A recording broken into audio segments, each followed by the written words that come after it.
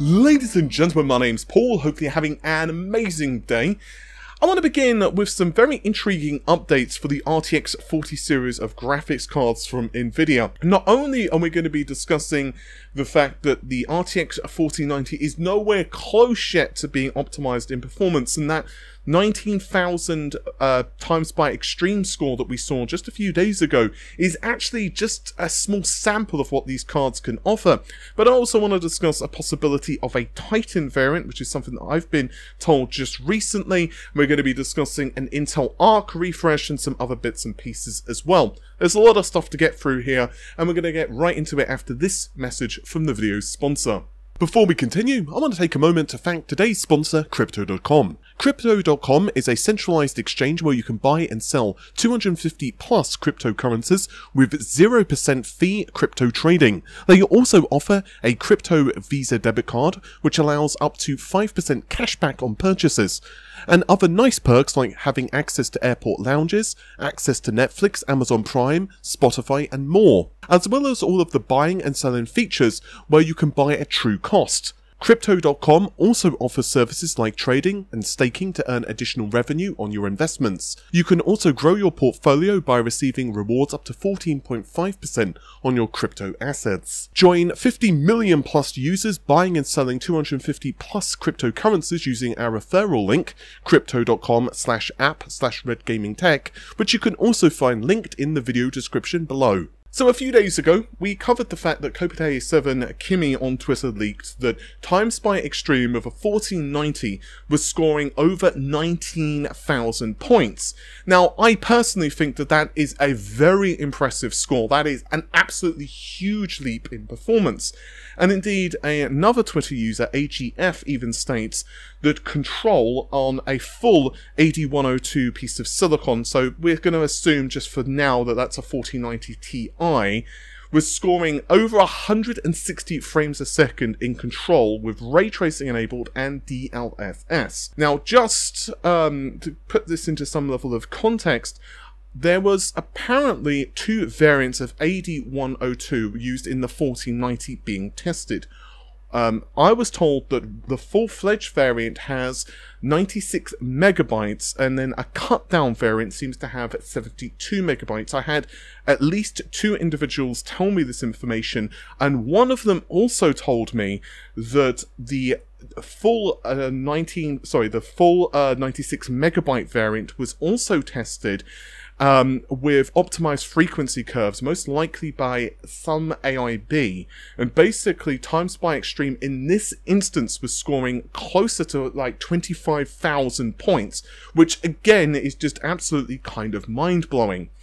Curiously, Kopite 7 has actually put an update out, and they are now stating that I know some people are disappointed with the 19,000 score. I mean, I don't know anyone, to be honest, that's disappointed with 19,000 plus points for a 40-90. I mean, I personally think that score is just bonkers, but that's just me. But they also mentioned that it was being run with low TGP, low frequency, and an L2 cut. So basically speaking, there is a ton of room left in the tank. It's going to be very interesting how these cards end up, because obviously, at the end of the day, the higher the clock frequency, you know, the more heat and all of that stuff, but it's going to be very intriguing. He also mentions, though, of an AD 102-450 A1 piece of silicon. He says that he doesn't know what the name is.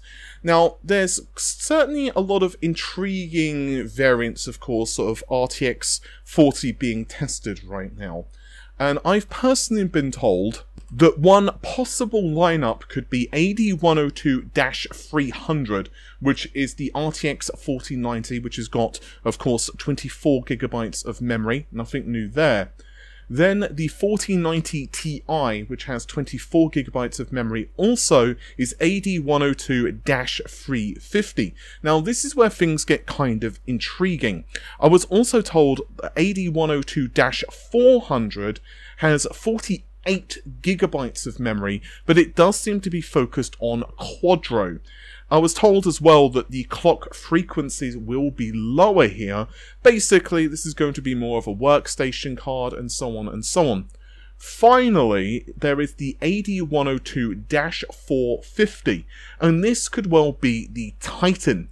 But I have to tell you guys that I'm not 100% certain that this is true or not, because there is some conflicting information. Another source has told me that, and I think I actually mentioned this in a previous video, that Nvidia are somewhat considering making the 4090 Ti just not be a name, and instead the 4090 Ti essentially becomes the Titan, whereas another source is telling me that Nvidia just doesn't really want to utilize the Titan branding anymore.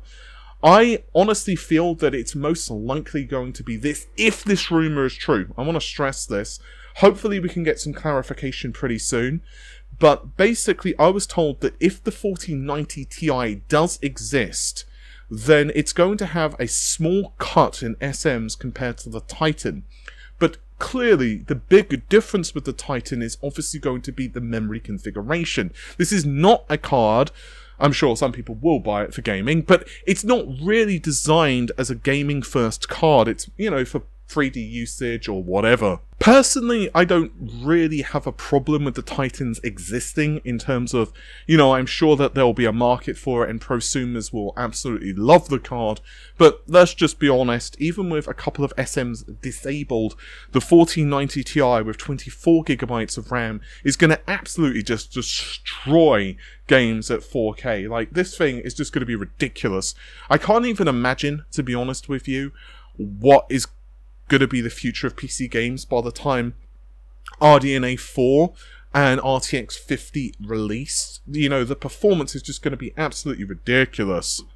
And now we're going to shift our way to AMD, as there has been a very interesting thing which has happened, and that is that AMD has kind of done an Ipsy. I'm sure most of you are aware that Nvidia have been doubling, quadrupling, and God knows what else down on streaming technology, and obviously AMD have also released various things as well. And basically, they have um, accidentally published a teaser which shows AMD noise suppression. I don't really need to explain this too much to you guys because it essentially works almost identically to that of RTX voice, at least according to AMD. Now I've got a level with you guys, an actual source told me about this over a week ago but um, yeah, basically I just haven't done anything with the information. However, I was given a couple of small nuggets regarding how it functions. Now, AMD themselves do mention that it basically utilizes AI, machine learning, and to my understanding, from what I'm told, this will only, at least currently anyway, work with RDNA 2 based GPUs. Now, I'm hoping, I really am hoping that that information that I just told you guys is wrong and that it works with something like Vega, you know, discrete Vega GPUs or RDNA 1. But to my understanding, at least right now, it only functions with RDNA 2. So for example, if you have like a, you know, a 6700 XT, you're good to go. But if you have a 5700 XT, it just will not function. I believe that one of the reasons for this is because, and if it does use AI, there were those additional, um, basically, ML instructions that were added onto the GPU. It's still utilizing the compute units of RDNA 2. Obviously, um, AMD's tech does not have tensor cores, but yeah, it's pretty cool nevertheless. Also, uh, a small update um, from a slightly different perspective for AMD's GPUs.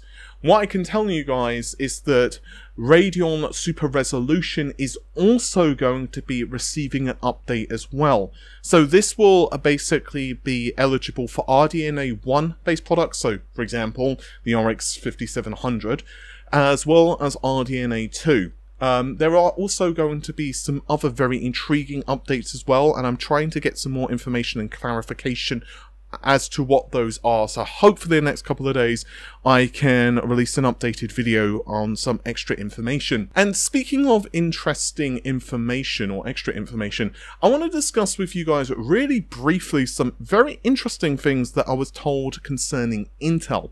Now, I'm not going to go into a whole spiel about Intel's ARC. I'm sure most of you are aware of it at the moment. And there's a very interesting video, actually, on on uh, Linus Tech Tips. I don't usually watch many tech channels, if I'm honest with you, but a couple of people were really recommending I did check out the Linus Tech Tip video for um, Intel's Arc, and I actually would encourage you guys to check it out because it's got a couple of Intel employees, including um, Ryan Shrout on the channel.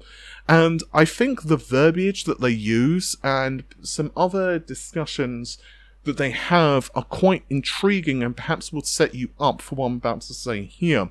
So there's a couple of very interesting things I was told about ARC. Now, as I'm sure most of you guys know, Intel are in a chicken and egg situation. Uh, what I'm about to say is not exactly surprising to you, but drivers take quite a long time to be optimized. This is one of the reasons that DirectX 12, for example, is doing better on ARC than something like DirectX 11. We've known about this for ages now, and it's not really surprising when you think about it from a logical perspective. NVIDIA, AMD have had literally years to work on their drivers, and now, well, yeah, Intel are in this position. But interestingly, I was told by one source that Intel are essentially going to help to break the chicken and egg situation by basically just, let's just say, um, providing incentives to laptop manufacturers and system integrators. I'm told that there is a lot of cash that Intel will be flashing, especially to integrate discrete ARC graphics into laptops. Um, and really, when you think about it, it just makes sense. Intel at this stage needs to just build a large install base because obviously the more users have a specific architecture or you know whatever it basically encourages developers i'm also told that intel are going to and this is not again very um, surprising information what i'm about to say but intel are going to be doubling and quadrupling down on its development programs and developer assistance. So that's not too surprising. What is curious though, one of my sources late yesterday actually told me that there was a possibility of an ARC refresh. Now I have to say, I really did not believe this information initially. I was like, an ARC refresh? Really? Um, but basically, I was then told that Battlemage is probably delayed I decided to do a bit of due diligence and reach out to a couple of people, and it does seem like Arc is going to receive a refresh. And this does seem to be penciled in essentially around the time of CES. The thing is, though, well, it doesn't seem to be based on the desktop, it seems to be mobile. So basically, um, it's Arc Mobile Refresh with Raptor Lake H. And this is going to launch sometime in January, uh, uh, sorry, December this year or January. There's not a huge amount of additional information I have on this. Um, I according to the source that initially told me the information, not the one who provided me some updates, but I believe that the number of, for example, execution units remains the same. So, for example, it doesn't have a bunch of additional execution units, it doesn't have, like, you know, major changes to the architecture. I would presume, though, that there may be some optimizations to improve clock frequency. Um, I'm going to be very interested, honestly, if they do, th- you know, release this.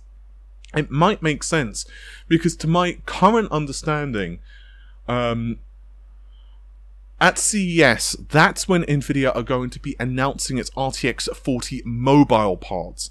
Now, the thing is, um, I know Nvidia in particular, and this actually circles back a little bit to the Titan information from earlier, as well as Nvidia's overall decision making.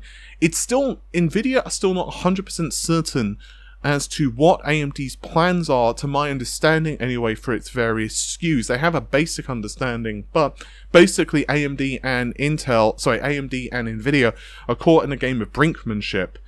Um, but either way, RTX 40 is almost certainly going to be seeing a mobile launch early next year, and of course we all know that, well, AMD are going to be doing much the same, and I think that their mobile focused parts, especially the APUs, are going to launch again uh, for AMD early next year, basically around CES, they're going to be announced, maybe launch, you know, that month or possibly February or something like that.